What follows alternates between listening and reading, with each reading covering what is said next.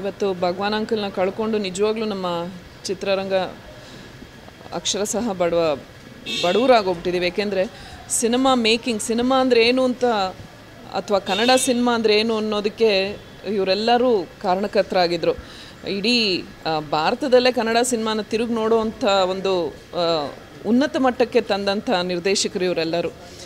ದೊರೆ ಅಂಕಲ್ನ ಆವಾಗಲೇ ಕಳ್ಕೊಂಡ್ವಿ, ಇವತ್ತು ಭಗವಾನ್ ಅಂಕಲ್. ನಿಜವಾಗ್ಲೂ ಬೇಜಾರಾಗುತ್ತೆ. ಏಕೆಂದರೆ ಮುಂದೆ ಮಾರ್ಗದರ್ಶನ ಇಲ್ಲದೆ ಇದ್ದಂಗೆ ಆಗ್ಬಿಟ್ಟಿದೆ. ಅಂದರೆ ಸಿನಿಮಾ ಮೇಕಿಂಗ್, ಆ ಲ್ಯಾಂಗ್ವೇಜ್ ಅನ್ನೋದನ್ನೇ ಯಾರಿಂದ ನಾವು ಕಲಿಬೇಕಾಗಿತ್ತೋ, ಮುಂದಿನ ಪೀಳಿಗೆಗಳಿಗೆ ಆ ಅವಕಾಶ ಇಲ್ಲದೆ ಇದ್ದಂಗೆ ಆಗೋಗಿದೆ. ತುಂಬ ಬೇಜಾರಾಗತ್ತೆ. ಅವರು ಆತ್ಮಕ್ಕೆ ಶಾಂತಿ ಸಿಗಲಿ. ಏನು ಅಂದರೆ ನಾನು ಒಂದೇ ಖುಷಿ ನಾನು ಅವ್ರ ಕೈ ಕೆಳಗೆ ಕೆಲಸ ಮಾಡುವಂಥ ಅವಕಾಶ ಸಿಕ್ತು. ನಾನು ಎರಡನೇ ಸಿನಿಮಾದ, ಎರಡನೇ ಸಿನಿಮಾದಲ್ಲೇ ವಿಜಯೋತ್ಸವದಲ್ಲಿ ಅವ್ರ ಸಿನಿಮಾದಲ್ಲಿ ಮಾಡಿದೆ. ಜೀವನ ಚೈತ್ರದಲ್ಲಿ ಮಾಡಿದೆ.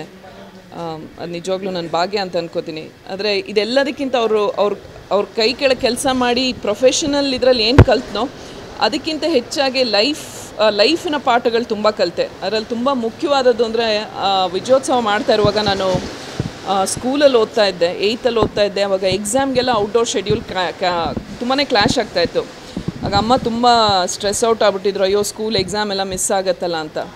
ಆಗ ದೊರೆ ಇಬ್ಬರು ದೊರೆ ಮತ್ತು ಭಗವಾನ್ ಅಂಕಲ್ ಇಬ್ಬರು ಕೂತ್ಕೊಂಡು ನಮ್ಮ ತಾಯಿಗೆ ಅಡ್ವೈಸ್ ಮಾಡಿದ್ರು. ನೋಡಿ, ಈ ಕಲಾದೇವತೆ ಜೊತೆಗೆ ಅದೃಷ್ಟ ದೇವತೆ ಇಬ್ಬರು ಕೂಡ್ಕೊಂಡು ನಿಮ್ಮ ಮಗಳನ್ನ ಹರಿಸಿದ್ದಾರೆ ಬಾಗಿಲು ತಡ್ತಾ ಇದ್ದಾರೆ ಇಂಥ ಅವಕಾಶನ ಕಳ್ಕೊಬೇಡಿ. ಯಾಕೆಂದರೆ ಕೋಟ್ಯಾಂತರ ಜನದಲ್ಲಿ ಈ ಥರ ಅವಕಾಶ ಸಿಗೋದು ತುಂಬ ಜನಕ್ಕೆ ತುಂಬ ತುಂಬಾ ಕಮ್ಮಿ, ಎಲ್ರಿಗೂ ಸಿಗಲ್ಲ.